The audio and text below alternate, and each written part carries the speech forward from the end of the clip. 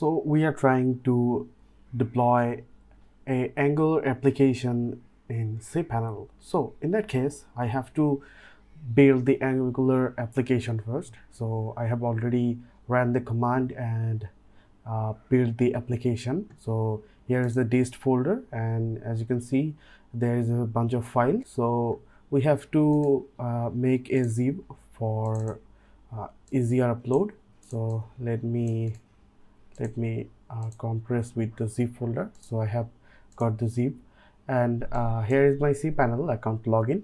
So uh, here is the directory for uploading the files. So if i click on upload and and i drag and drop the file here and click on back close it.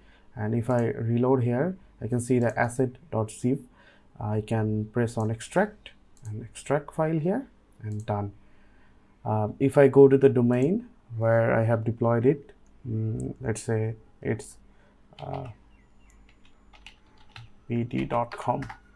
so if I go there you can see uh, this is a website and if I click on about um, uh, here is the about page so it's working fine. But when I press reload uh, it says it's 404 error because of um, uh, the uh, Apache server or whatever it is, the cPanel server trying to find and uh, find a path here, but it's not getting it.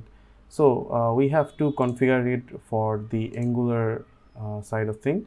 So here is the htaccess configuration for the um, for the Angular. So I let me just copy it and let me create a new file with .htaccess so h-t-a-c-c-e-s-s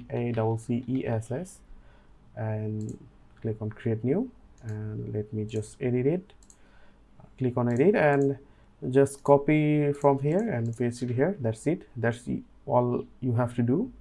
Then click on save changes and close it. If i refresh right now uh, you'll see the https auto automatically redirected and also the slash about is working. In this previous video um, I have already uploaded about uh, configurations for the Angular but the problem was there. Uh, you can see here in the network tab and if you click on all um, you see um, where is the main where is the main request for the website. Let me check this again. Here is the dealsoftbd.com and you can see 304 get success message or code status code.